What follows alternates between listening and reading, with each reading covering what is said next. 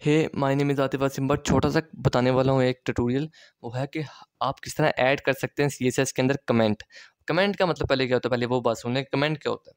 Comment ये होता है कि मिसाल के तौर पे मैंने बॉडी लिया और इस बॉडी के अंदर मैंने एक प्रॉपर्टी डाल दी, यानी कि मैंने एक लिया एक लिया एच वन और इसके अंदर लिखा, इसके अंदर लिखा मैंने ओके आतिफ, आसिम ओके अच्छा इसकी तरफ़ ध्यान ही देना, मैं, मेरे से बताने का मकसद ये है कि कमेंट क्या होता है। मेरे से बताने का मकसद ये है कि कमेंट क्या होता है। इसलिए मैं लिख रहा हूँ।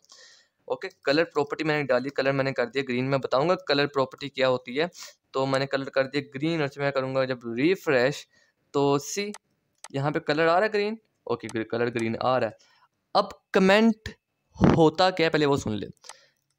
मैंने इस पूरे को सिलेक्ट किया, ये कमेंट आउट हो गया।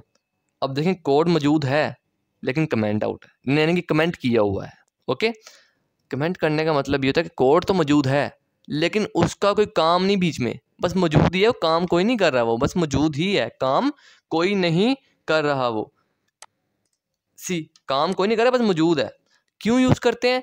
जब आप बड़ी कंपनी के साथ काम कर रहे हैं, आपने एक बड़ा प्रोजेक्ट बनाया आपने आधा प्रोजेक्ट आपने बनाना है आधा प्रोजेक्ट दूसरे बंदे ने बताना है, बना, बनाना है। तो दूसरे बंदे को कैसे पता लगेगा कि भाई ये किस चीज़ का, ये किस चीज़ का, ये किस चीज़ का? मिसाल के तौर पर मैंने यहाँ पे लिखा हुआ है एच वन मैंने यहाँ पे, मिसाल के तौर पर मैं कमेंट ख़त्म करता हूँ इसका, और इसे मैं करता हूँ रिफ्रेश तो कमेंट आ रहा है। ठीक है, अब यहाँ पर अगर मैं लिखता हूँ दिस इज़ फॉर हेडिंग यहाँ पे लिखता हूँ हेडिंग स्टाइलिंग हेडिंग स्टाइल ठीक है मैं अगर सेव करता हूँ सी पंगा पड़ गया ना?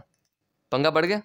तो इसे इसलिए हम कमेंट आउट कर देते हैं कि ये लिखा हुआ है, लेकिन लिखा तो हुआ है, लेकिन इसका कोई काम नहीं बीच में। दूसरा बात ये, दूसरी बात ये, जब कोई दूसरा डेवलपर आकर देखेगा तो देखेगा हाँ ये हेडिंग की स्टाइलिंग है। हाँ ठीक है, ये हेडिंग की स्टाइलिंग है। हाँ ठीक है, समझ आ गई मुझे। यानी कि उसको कोड की समझ आ जाएगी कि ये किस चीज़ की स्टाइलिंग किस बारे में हुई है, कहाँ पर हुई है, किस तरह हुई हुई है ओके ये समझ आ जाएगी, इसलिए कमेंट होता है। अगली बात कमेंट करते किस तरह? देखें, इसको इसको मैं लिखा रहने देता हूँ। छोटा तरीका, इन सबलाइम टेक्स्ट क्या है? जितना आपने कमेंट करना है, उतना आप सेलेक्ट कर लें। कंट्रोल दबा के रखना है, उसके साथ दबाना है फॉरवर्ड स्लैश जो शिफ्ट के साथ होती है शिफ्ट के साथ। एक, जो शिफ्ट के साथ होती है उसको हम दबाना है तो ये कमेंट आउट हो जाएगा। सी ये कमेंट आउट हो जाएगा।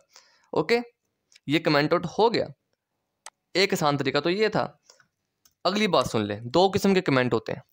कमेंट्स हो कमेंट होते हैं। एक होता है सिंगल यानी कि एक होता है लाइन और एक होता है मल्टी लाइन अब देखें, ये जो कमेंट है, ये लाइन है। कि, क्योंकि एक लाइन ही कमेंट हुई हुई है।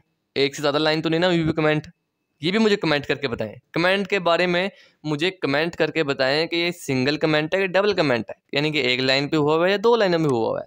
ओके कितना बच्चों वाला सवाल मैंने आपसे कमेंट करने का कह दिया है। मल्टी लाइन कमेंट क्या होता है? अब देखें, इसको मैं कमेंट आउट करता हूँ कंट्रोल प्लस फॉरवर्ड स्लैश से। अब देखें, ये ये वाली लाइन भी ले रहा है, दसवीं, ग्यारहवीं लाइन भी ले रहा है, बारहवीं लाइन भी दे रहा है। एक से ज़्यादा लाइन होगी मल्टी लाइन होगी। इसे कहते हैं मल्टी लाइन कमेंट करना ओके ये तो कमेंट होते हैं। तीसरी बात, यानी कि अगली बात अगली बात सुन लें।